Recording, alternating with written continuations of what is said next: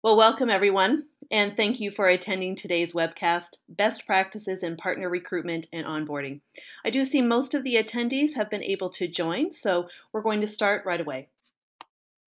Uh, first of all, my name is Stacy DeRozier, and I'm the Vice President of Marketing here at Channeltivity, and I'm going to be your host today. Just a few housekeeping notes before we begin today's presentation.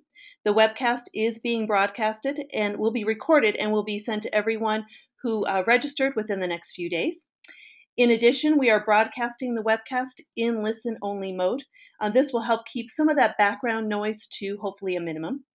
And we do encourage you to submit any questions via our chat screen, and we will answer those questions during our Q&A session following today's presentation. And as a note, we were we are going to try to keep this to about a half hour today uh, to hopefully give you some time back in your day.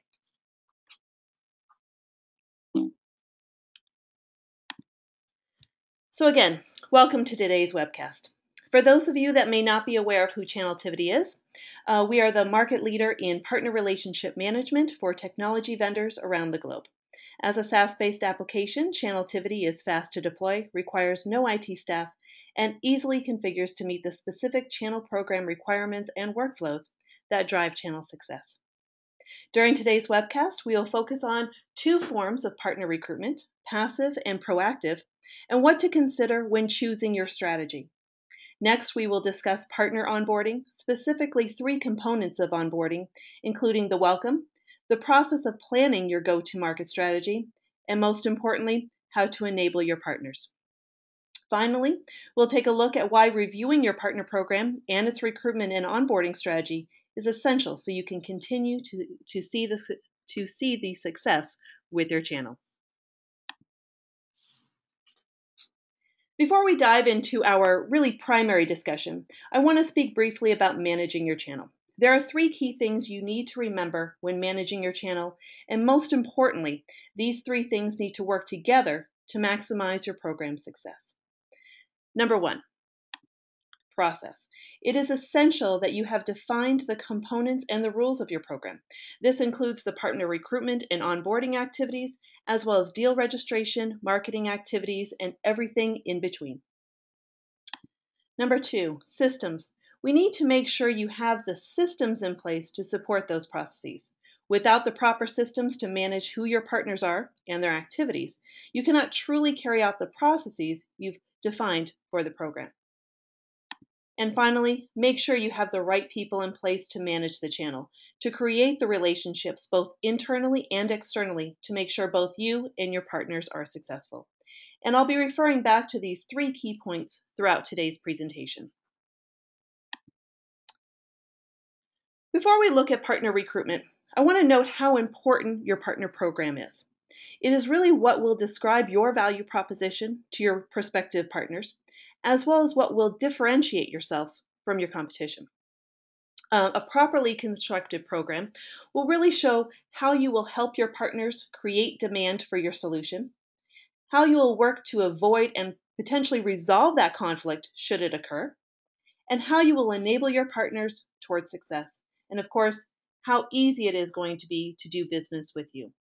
And whether you're the market leader or not, if you are easy to do business with and have a partner excuse me, a proper partner program in place, your partners will sell you over your competition.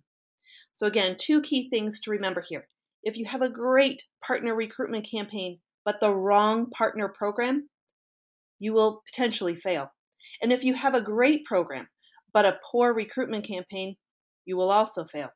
So both your program and your recruitment and onboarding strat- strategies and processes need to be well defined and support your overall channel initiatives. So let's look at recruitment. There are really two key ways to go about this. Either you're going to go passive or proactive. For passive recruitment, this allows organizations such as yourself to be able to wait for partners to come to you. While most organizations do recruit this way, 95% uh, is, is one of the numbers that is out there from a survey perspective it truly is not ideal to do. Yes, it is easy, but um, you get a very marginal return on the investment, and it rarely drives the results that you require in the long run. Now, while it can be a portion of your partner strategy or your recruitment strategy. It is not to be your actual full recruitment strategy. And so we're going to talk a little bit now about proactive recruitment. So this strategy, while a little bit more difficult to really execute on, delivers the best results as it puts you in control of your destiny. So for proactive partner recruitment, you really need to consider the following. What is your ideal partner profile? Where do you need to recruit your partners? And what is the process that you're going to involve to actually go through that recruitment process? So let's go through each of these in a little bit more detail. First off, to start identifying what your true partner profile is, you must first ask yourself, what is important to you in a partner? And what have you seen success with? Once you've thought about these two questions, you can better understand how to go about writing down the specific partner profile characteristics that will bring you the best and most qualified prospects. For instance, look at the uh, profile characteristics that are on the screen at this point. Number one, target market, customer type. As an organization, you should have a pretty good handle on what type of customer will most likely buy your solution, as well as the market segment that you're really targeting. Finding a partner that also focuses on these and has had success in that in these markets will could be a very strong partner for you. Competing in complementary technologies. If you have a solution that requires maybe another solution to be sold alongside of it, or at least be present in potentially the infrastructure, looking for partners that sell that complementary solution is a great way of going. Those partners already have a list of your potential customers. Now, on the flip side, if you're looking to gain market share, targeting partners that represent competing solutions is really also a possible option. The challenge here is finding those partners that want to work with you, not just turn your information over to your competitor. Um, as an example, one of my previous companies, this was actually one of the primary ways we targeted our partner prospects. Really, our main competitor was a very large vendor that really did not value their partners as much as they may have done in the past. And this was our leverage for us to go in, offer our competing solution to partners that just needed a similar solution, but more importantly, wanted to work with a vendor that actually valued the partnership and the relationship. Geographic coverage. Um, we're going to discuss this in a few more minutes in, in a little bit more depth, but I want to make sure that you keep this in mind as, as it is really a valuable part of your profile. Understanding where you need the coverage will help also guide your recruitment efforts. The business model.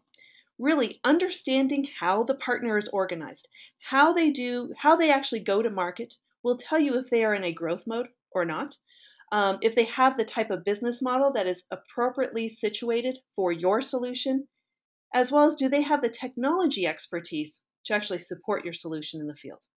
So, understanding all of this and many other uh, components of their business model will show you if they can actually be successful bringing on new technologies such as yours or not.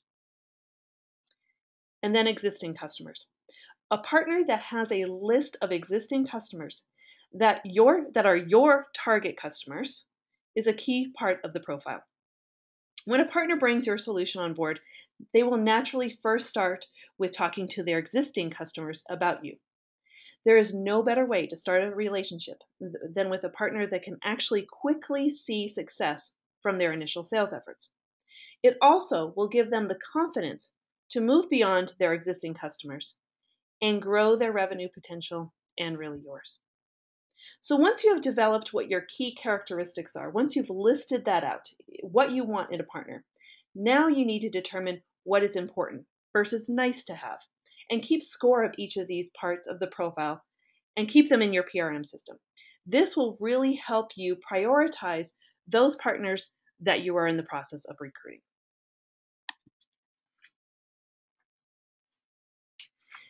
And as I just mentioned, geography is also plays a complete excuse me a key component in your recruitment strategy. So when looking at this, you should be considering, you know, where are your existing leads coming from? Do you have adequate coverage to really manage these leads? Or do you need more help from people like partners to actually bring those leads to convert to opportunities? And as a note, having leads already available to provide to these new partners in these new geographies makes the whole recruitment that much easier. Also, think about where are your existing customers, especially when you require local references. Potentially, having existing customers in target regions is a great way to raise the confidence of the new partner that demand is already present in their geography. And finally, what is the overall strategic direction for your organization? While you may have no partners, for, uh, for instance, in Australia, is it wise to start recruiting there just because you don't have any if the organization as a whole is not able to support that geography yet. So, good things to consider from a geographic requirement. Now, finally, let's look at the recruitment process. This is also where you consider the systems you should have in place to support your recruitment efforts. A PRM system like Channeltivity should have the ability to support you as you walk through the following steps in the recruitment process. For instance, where will you record and track who your partner prospects are? I have seen it often done on spreadsheets. This causes so many different uh, problems where um, not everyone is clear as to who is re- who is rec- excuse me recruiting which partners because everyone is keeping a different spreadsheet. Um, also, who is going to be responsible for managing the recruitment process for each and every partner? How can you assign those effectively? Is your partner profile recorded somewhere so that each prospect can be evaluated against the same profile rather than individually by the partner manager? As you're going through the recruitment process and learning about each prospect, where will all of this information be recorded so that the information can be actually used during the onboarding process? During the recruitment process, you will find a lot about each of your partners. Keep that information in a place that can be used once they're actually signed. And how will you report your recruitment progress to management? Again, a lot of people will do this on spreadsheets. The challenge here is that it's a lot of different spreadsheets if you have a number of different partner managers. You have to keep it in one good, solid, single place so that overall recruitment can be viewed. And then once you have decided to actually bring on a partner, how will you easily manage the agreement process? Is it all going to be done uh, by hand delivered uh, contracts, or is it something that you can automate as part of the uh, as part of the onboarding process? So let's go back to the three points I made at the beginning around process, systems, and people. First of all, from a process standpoint, with your recruitment strategy, it is really necessary to make sure you have identified your unique partner profile, that you have a strategy around your geographic requirements, and finally, a documented process that your entire organization can use to recruit, to recruit those partners. From a systems perspective, a PRM system that can support the processes you've laid out end to end is essential. And then finally, the people. Make sure your channel managers and others in your organization understand your strategy and are willing to support the process you've laid out. So now let's take a look at the onboarding process.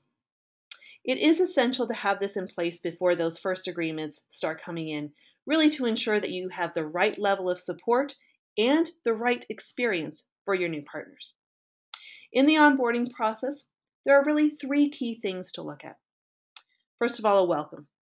How is this going to be accomplished and what information must be conveyed during this initial step? a business plan of some sort, a simple plan that lays out the rules of engagement and initial expectations and enablement procedures so everyone is kept on the same page. And finally, how will you enable your partners to get them moving quickly and seeing that success? Let's take a look at the partner welcome. The partner welcome really can take on many different forms, but regardless of how you handle this, it should be should comprise really of the following elements. Um, introductions to your team, including your executives. Make sure they have full access to the right people in your organization early so that they can feel part of your team and know who they can go to when questions arise. Next, have some level of access to the first onboarding or training steps you want them to take.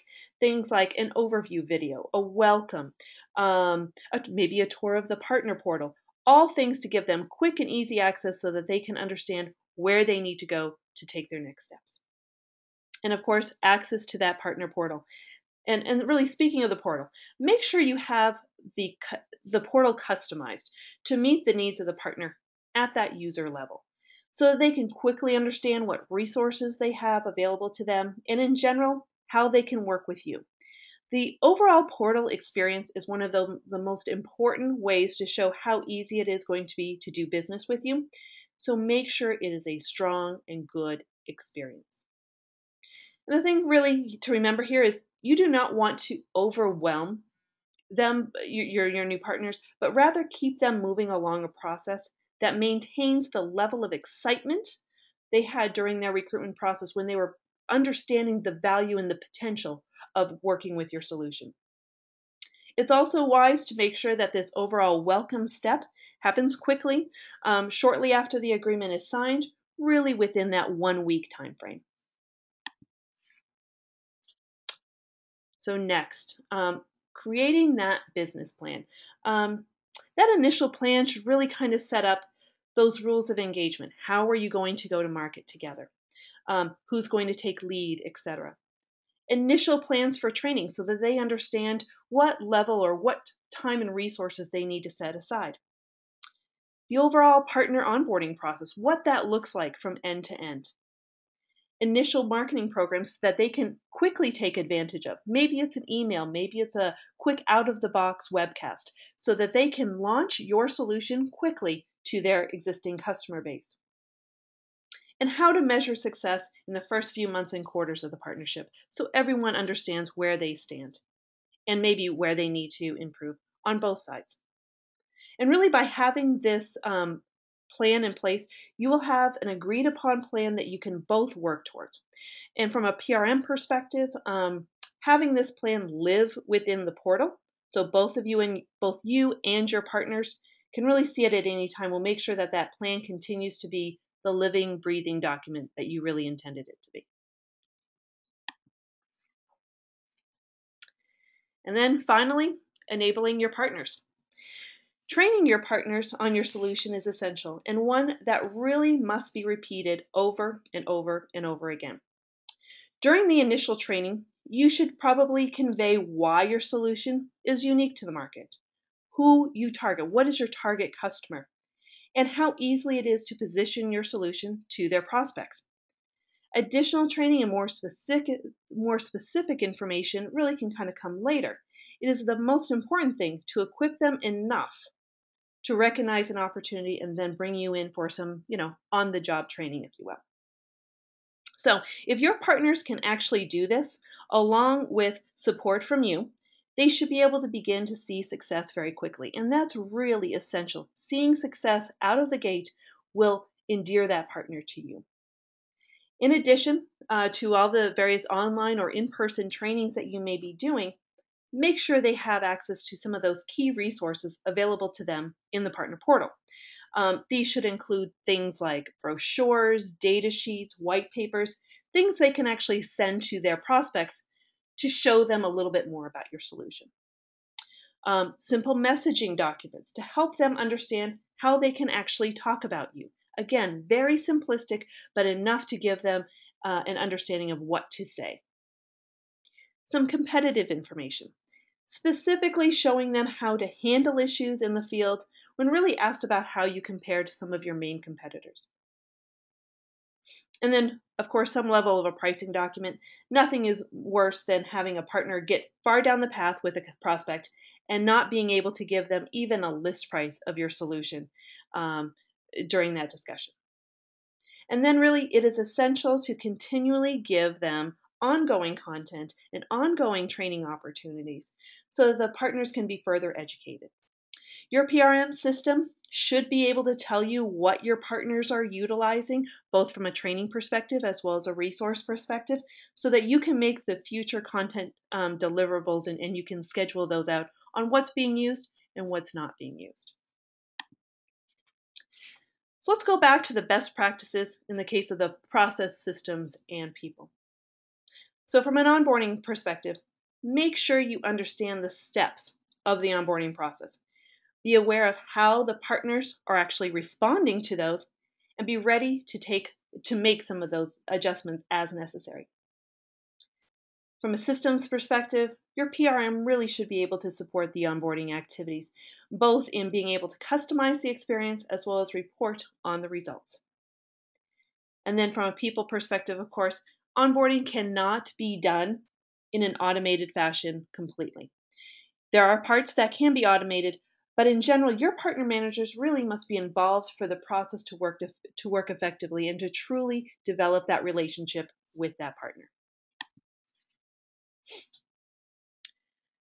So now that you have a recruitment and onboarding um, strategy in place, um, you really need to review the process at least a few times during the year.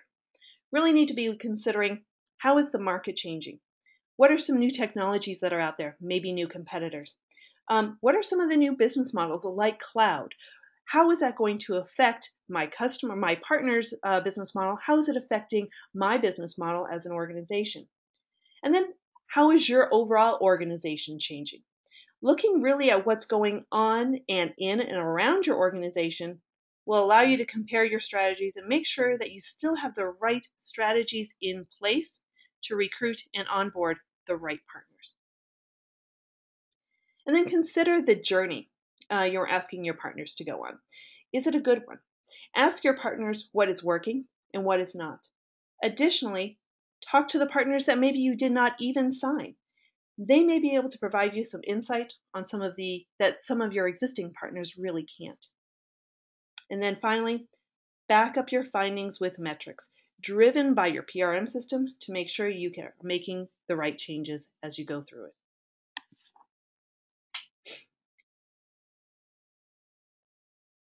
So, in summary, really ensure that your recruitment and onboarding strategies support your overall organizational goals. Involve all of the members of your organization to really help you determine how you are going to bring on partners and which partners are the right are the right ones for the organization. Look at the partner interest. What do they need in order to really understand who you are, to make that decision whether they'll partner with you or not, and how are they going to go through that onboarding process? Really take it from their view as well.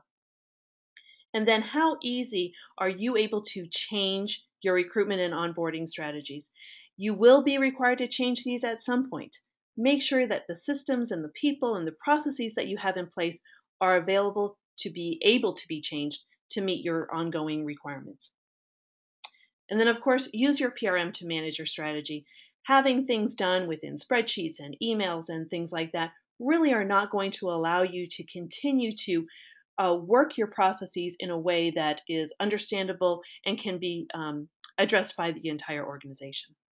And then finally, again, review and revise to meet the needs of your partners and of your organization. You never want your program or your strategies to go stale. You must be reviewing and revising them on an ongoing basis.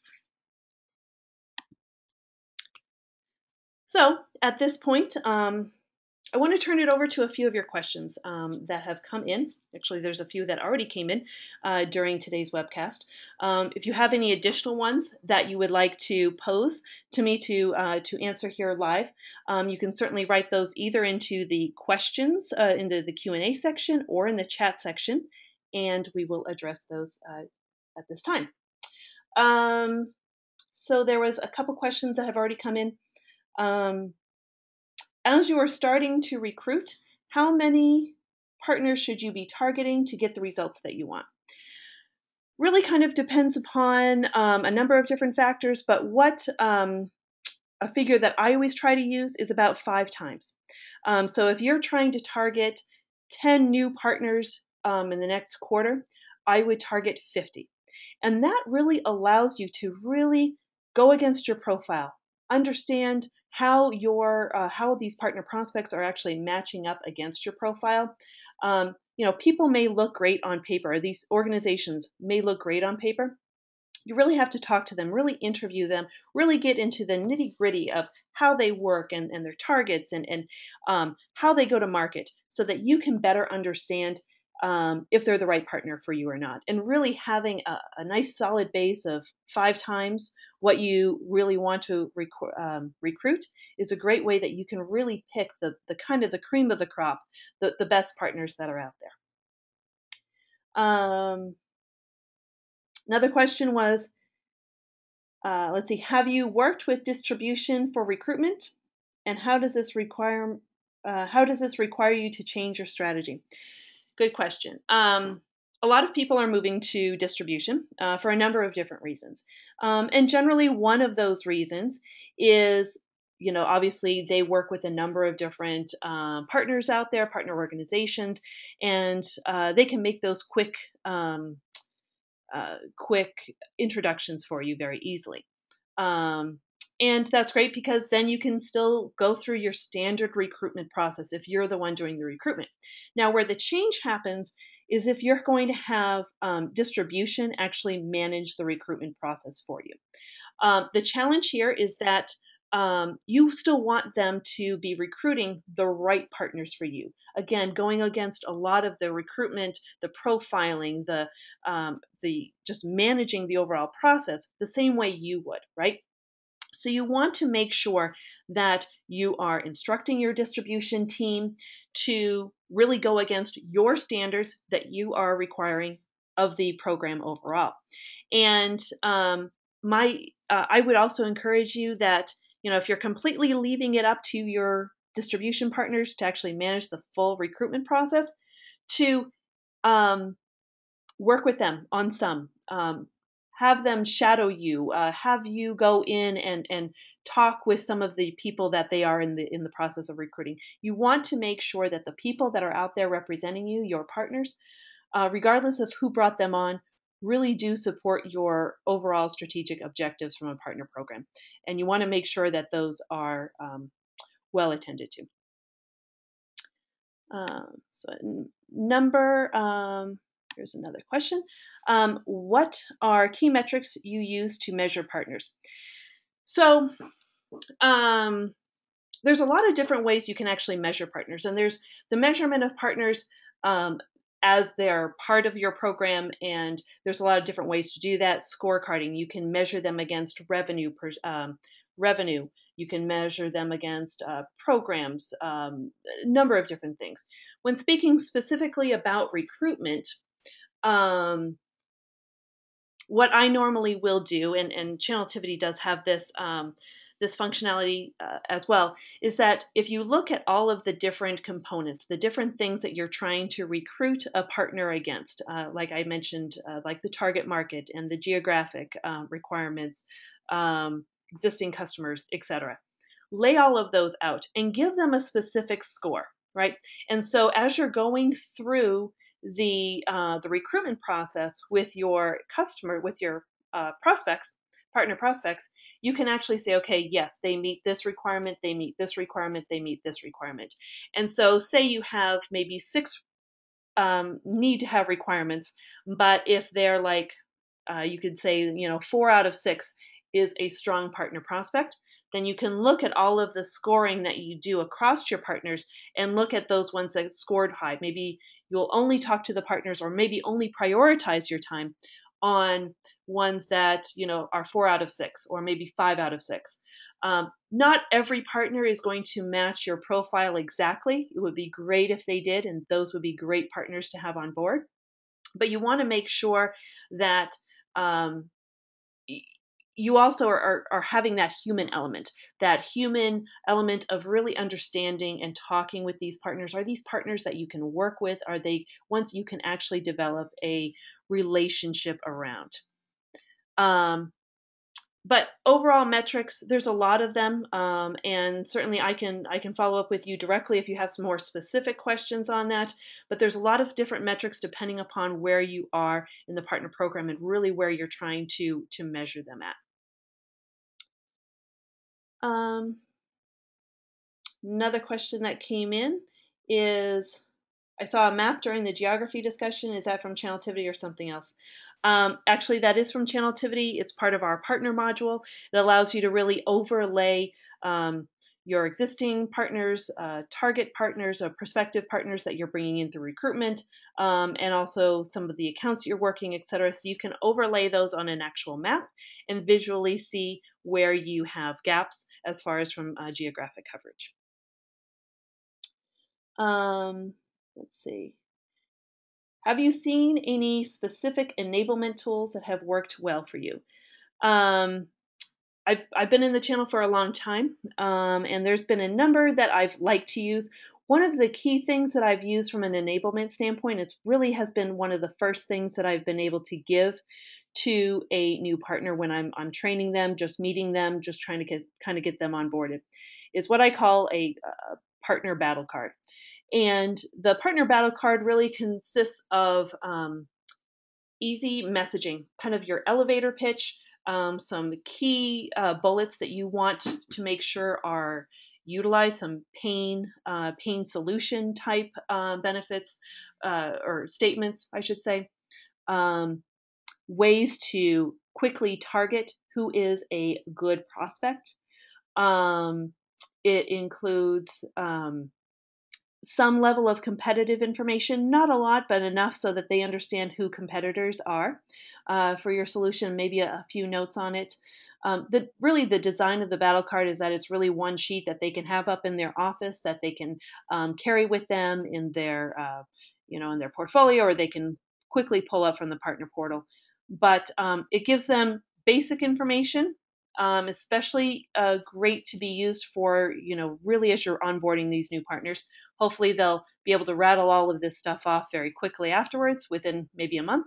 Um, but also on the back of the card, I also have, you know, how to work with with my company. I would have, um, you know, key contacts, uh, uh, quick pricing information, um, how to register deals, quick access to the partner portal, etc. So more of how to do business with my organization.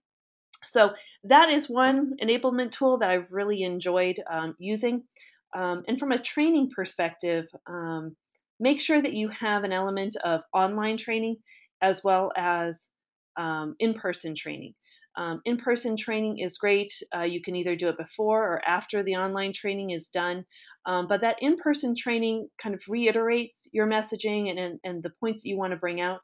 But it also will help you um, go into kind of an account mapping um, discussion. So again, helping your partners understand who to quickly target um, so that they can see some early success with your solution. And then I think the final question um, that has come in, let me just check. Uh, yep, uh, at this point is with Channeltivity, can you manage the passive recruitment strategy, um, as you mentioned, and basically do you have like a prospect form um, that they can use? So yes, we do have a partner prospect form that you can configure. Um, it would be a link onto your uh, corporate website. And when the partner prospect were to actually fill that information out, it actually gets uh, sent directly into Channeltivity into the recruitment module within the partner section, and uh, you can manage the uh, partner recruitment uh, fully uh, within within the system. So it is a great way. Um, if you don't have um, a, a a good way of doing that, I know a lot of people will um, just use a form on their website that you know maybe goes into their CRM system or something like that. Really making sure that it goes that that the information, regardless of the PRM system that you're using, really making sure that you have the partner information go into your PRM system. So again, you can manage the entire recruitment and onboarding, the whole signing process from within your PRM will really help you um, understand. It'll give you some metrics as to how many partners close, how many don't. It can help you um, measure against your profile um, which partners are actually, uh, you know, signing the agreements, maybe which ones aren't that you thought would. So there's a lot of reasons to actually manage this entire process from within your PRM, and it, it's uh, I can't stress that enough. Um, but making sure that you first of all understand the process and, and why you want to be doing certain things is, is really kind of the most important part um, as you go through all of this and, and, make your decisions on which types of strategies you're going to include um, as you go forward. So I think that was the last question that came in. Um, again, I, I want to thank everyone for attending today. I think we kept it to about a half hour. Um, so, as a reminder, if you do have any additional questions, anything else comes up um, after today's presentation, feel free to reach out to me. My contact information is available on the screen, and I'd be happy to assist you. Um, I hope that you are going to be able to join us for some future webcasts as we continue to discuss some of the new trends and some of the best practices um, as you manage, enable, and engage with your partners this year. So again, thank you all for attending, and I appreciate your time. And hopefully, this uh, this content was helpful as you go out and recruit and onboard some new partners. Thank you.